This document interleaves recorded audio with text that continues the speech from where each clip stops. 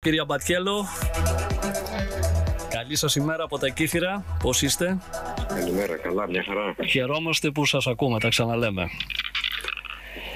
Καταρχάς να σας πω συγχαρητήρια. Και εγώ χαίρομαι πολύ, τώρα σας ακούω καλύτερα. Μμμ. Συγχαρητήρια να σας πω. Ε, φ- ε, έχετε εκλεγεί, έτσι, Μμμ. Να είστε καλά, να είστε καλά. στην πρώτη Πειραιά. Ε, είχατε επισκεφθεί και το νησί μας, σας είδαμε από κοντά, τα είπαμε. Τώρα λοιπόν πάμε στο δεύτερο γύρο δυνατά. Ε, αυξημένα ποσοστά το κουκουέ, έτσι, δεν έχετε παράπονο. Ε, ναι, ε, κοιτάξτε να δείτε, η αλήθεια είναι ότι μέσα σε έναν γενικά βεβαίως αρνητικό συσχετισμό, δεν κλείνουμε τα μάτια σε αυτό, Ναι, ναι. ο οποίος επικρατεί στο γενικό πολιτικό σκηνικό του τόπου. Δηλαδή, αν σκεφτούμε μόνο τα τρία κόμματα που ε, με διάφορες παραλλαγές και συνδυασμούς έχουν φορτώσει τόσα βάρη στον ελληνικό λαό, έχουν ψηφίσει τρία μνημόνια, συνεχίζουν αφρι- αφριστικά να έχουν πάνω από 70%. Μμμ. δεν κλείνουμε τα μάτια σε αυτό με και το ποσοστό της Νέας Δημοκρατίας ε, κοντά στο 40%. Πόσο έγινε αυτό; Ε, είναι όμως σημαντικό ότι υπάρχει μια τάση ενός ευρύτερου κόσμου να στηρίζει το Κομμουνιστικό Κόμμα Ελλάδας. Δηλαδή αυτοί οι 130.000 άνθρωποι αναγνώρισαν το ρόλο, τη δράση, τις θέσεις του κόμματος μας όλη την προηγούμενη περίοδο, το εμπιστεύτηκαν και να σας πω την αλήθεια, τα μηνύματα που παίρνουμε τώρα είναι ότι αυτό το ένα βήμα που έγινε θετικό, Ναι, ναι. ε, που μπορεί ακόμα εκλογικά να είναι αδύναμο με την έννοια ότι μπορεί να ενισχυθεί κι άλλο, να κάνουμε πολλά περισσότερα. Μμμ. Είναι μια μεγάλη ευκαιρία για πολύ κόσμο, βεβαίως για όσους στήριξαν το ΚΚΕ και εμείς τους βλέπουμε όχι ανακουφισμένους απλά για την επιλογή τους και επιβεβαιωμένους, αλλά πολύ μαχητικούς και δραστήριους να βοηθήσουν, αλλά και για πάρα πολύ κόσμο, ο οποίος ε, ε, το σκέφτηκε, ταλαντεύτηκε μέχρι τελευταία στιγμή, μπορεί να επηρεάστηκε από τα διλήμματα των τελευταίων ημερών, ξέρετε, ειδικά το ποιος θα είναι η κυβέρνηση κλπ. Ναι, που ναι. τώρα είναι πολύ πιο καθαρό το τοπίο Βέβαια. για να αποφασίσει ότι απέναντι στην ε, επόμενη κυβέρνηση που θα είναι της Νέας Δημοκρατίας είτε αυτοδύναμη είτε με κάποιον ε, συνεργαζόμενο έστω και για λίγο. Και απέναντι σε, στα υπόλοιπα κόμματα τα οποία θα είναι αυτό που λέμε Υπουργείο Συμπολίτευσης Αντιπολίτευσης όπως είδαμε την προηγούμενη τετραετία και θα τη στηρίζουν στα μεγάλα και στα σημαντικά η μόνη δύναμη που προβάλλει ως μαχητική έτσι, λαϊκή αντιπολίτευση είναι το Κομμουνιστικό Κόμμα Ελλάδας και εκεί το καλούμε αυτό να κάνει και πανελλαδικά και στην Α Πειραιά και στη Β και παντού.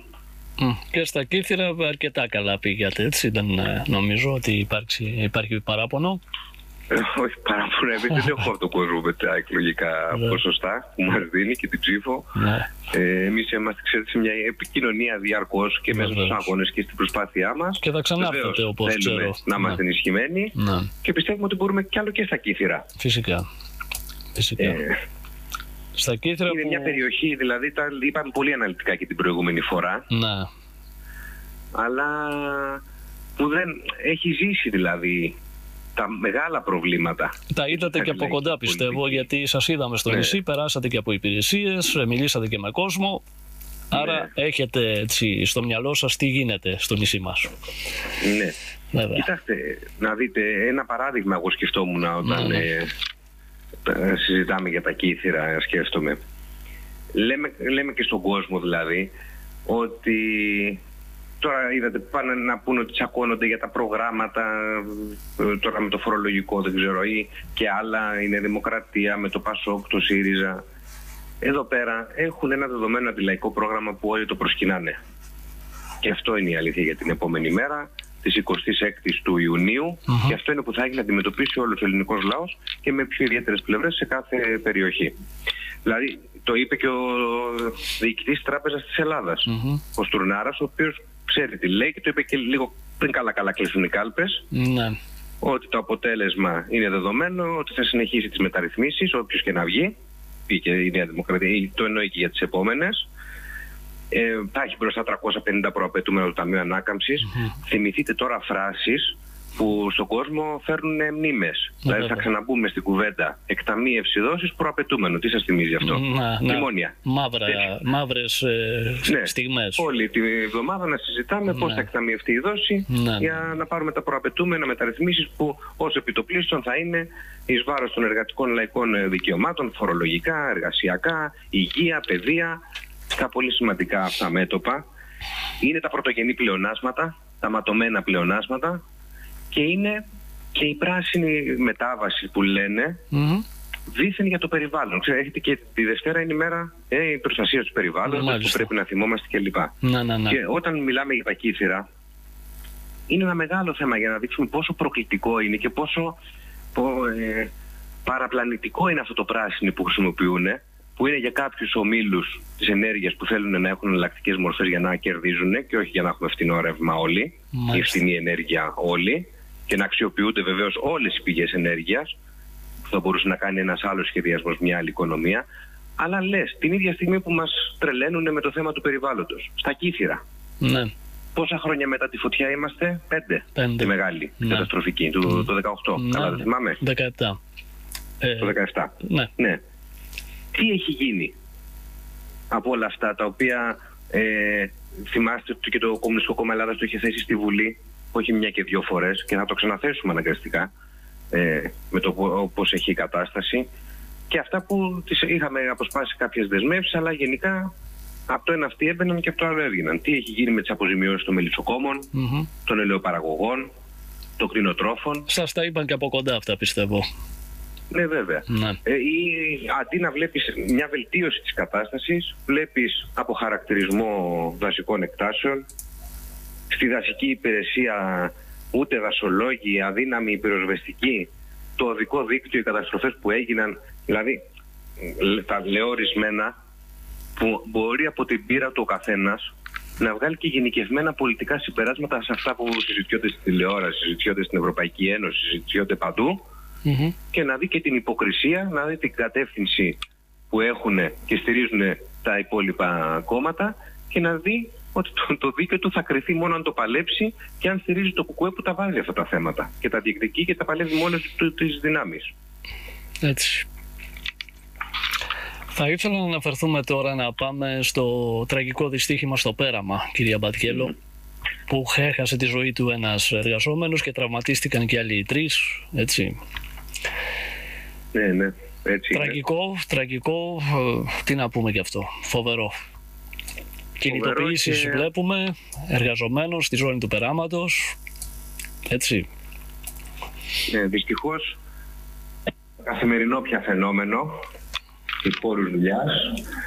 Ε, τα τέμπη ο, που λέγαμε και αυτό που μας σώκαρε όλη την προηγούμενη περίοδο συνεχίζονται. Συνεχίζονται μέσα σε, σε χώρους δουλειάς, ε, σε, πο- σε όλες τις περιοχές της χώρας. Είναι κλάδοι οι οποίοι σπάνε το ένα ρεκόρ δυστυχώς μετά το άλλο σε ατυχήματα, σε ακατεμένους εργάτες και δυστυχώς μέχρι και νεκρούς.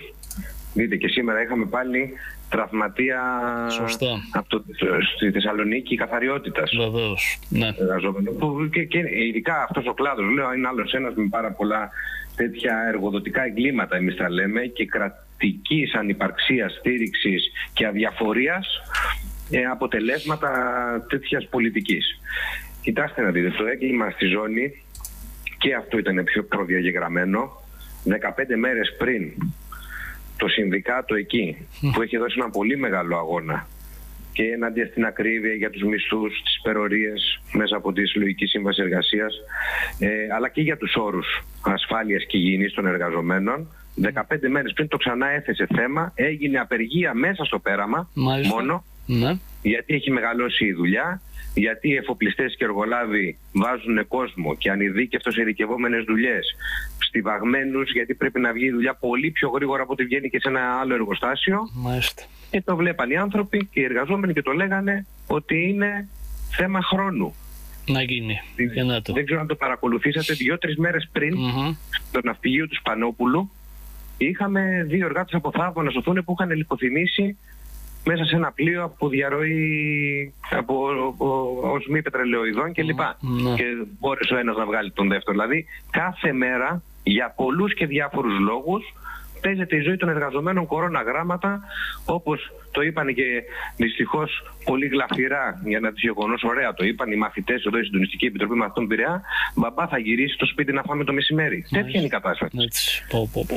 αν θα γυρνάει και εδώ πέρα, αναδεικνύονται κατά τη γνώμη μας δύο θέματα που είναι πολύ σπουδαία για το εργατικό κίνημα της πόλης μας και όλης της χώρας ότι η δύναμη που έχουν δώσει εργαζόμενοι στο συνδικάτο τους και εκεί μπροστά βεβαίως είναι και οι κομμουνιστές, στελέχοι του ΚΚΕ ε, και άλλοι αγωνιστές είναι συσπηρωμένοι στις πρόσφατες αρχαιρεσίες τους ψήφισαν πάνω από 2.000 και εργαζόμενοι στη ζώνη Ναι. στο σωματειο ε, και κατάφεραν αυτά τα έξι χρόνια, σε αυτές τις μέρες που μιλάμε, δυστυχώς πάλι επειδή είχαμε νεκρό, επειδή είχαμε νεκρό και δεν ακούγανε πριν καμία κυβέρνηση, έξι χρόνια έτσι, και η κυβέρνηση της Νέας Δημοκρατίας τέσσερα χρόνια και δύο χρόνια η κυβέρνηση του ΣΥΡΙΖΑ πριν, Ναι, ναι.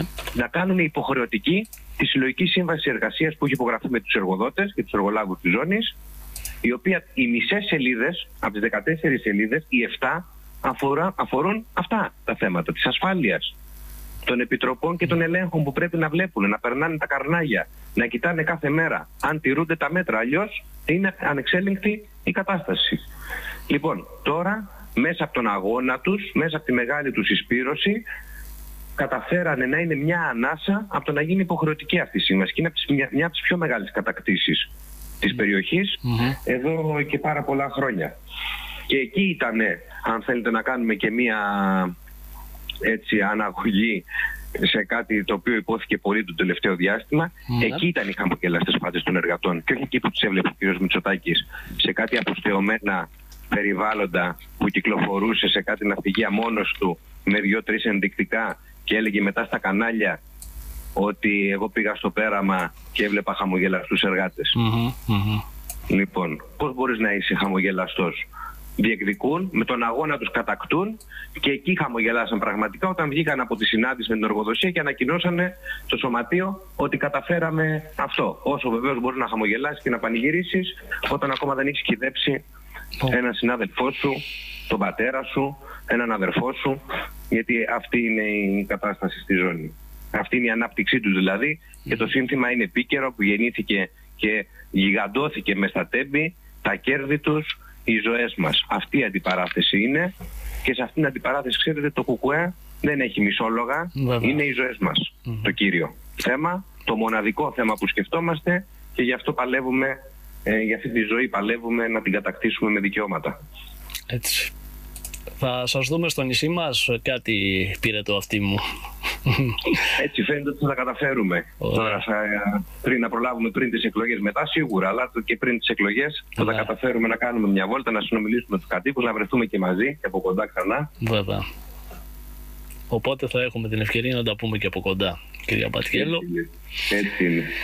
Ε, πάρα πολύ ωραία ε, έτσι σε αυτή την συνομιλία μας και σήμερα. Αν έχετε να πείτε κάτι άλλο προς τον κόσμο, μας ακούει, προς τις ειδικότες. Ναι. Πολλά παραδείγματα καθημερινά που το ΚΚΕ είναι μπροστά Να. και ανάμεσα στις εκλογές όχι μόνο μπροστά στους αγώνες, στις διεκδικήσεις, στους πληστηριασμούς εκεί που παίρνουν τα σπίτια, στις αγωνίες και εκεί θα κατατεθεί η δύναμη του ΚΚΕ. Εκεί 26 βουλευτές έβγαλε το ΚΚΕ από 15 στις προηγούμενες εκλογές. Μμμ. Έρχεται ένας εκλογικός νόμος που θέλει να λιλατήσει τη λαϊκή ψήφο, να κλέψει έδρες και πιστεύουμε ότι μπορούμε το ΚΚΕ όχι μόνο να κρατήσει τους 26 αν ανέβει σε ψήφους και ποσοστά, Ναι. αλλά να πάρει και ακόμα περισσότερους. Μμμ. Αντίστοιχα και στην Α Πειραιά όχι μόνο να την κρατήσουμε, αλλά να ενισχυθούμε πολύ, να πάρουμε και δεύτερο βουλευτή στη Β Πειραιά ε, και πάει λέγοντας. Εκεί θα κατατεθούν οι δυνάμεις. 100% μαχητική λαϊκή αντιπολίτευση και στη Βουλή με προτάσεις η φωνή των εργαζομένων των, κτίνη- των, εργα... των βιοπαλαιστών αγροτών, κτηνοτρόφων, των μικρών επαγγελματιών και πολύ περισσότερο έξω από τη Βουλή, εκεί που κρίνεται το δίκαιο, εκεί που όχι μόνο μπορείς να τσαλακώνεις ε, αντιλαϊκούς νόμους, να, κα- να, να παλεύεις για κατακτήσεις όπως αυτές που σας είπα, αλλά εκεί που μπορεί να γεννηθεί μια ελπίδα μιας άλλης προοπτικής, μιας προοπτικής μιας ζωής, μιας κοινωνίας, που αυτό πρεσβεύει η πρόταση εξουσία την κυβέρνηση του ΚΚΕ, που αυτοί που παράγουν όλο τον πλούτο θα τον καρπώνονται και θα ζουν όπως πρέπει σύγχρονα τον 21ο αιώνα. Αυτό είναι το δυνατό κουκουέ. Πιο δυνατό κουκουέ στις επόμενες εκλογές. Μμμ. Σας ευχαριστούμε πάρα πολύ για τη συνομιλία. Εγώ σας ευχαριστώ. Να είστε καλά. Θα τα πούμε στο νησί μας. Να είστε καλά. Ναι, ναι, θα τα πούμε από κοντά βεβαίως. Να έχετε μια όμορφη μέρα. Γεια σας. Και εσείς, εσείς και οι ακροατές σας. Ευχαριστώ.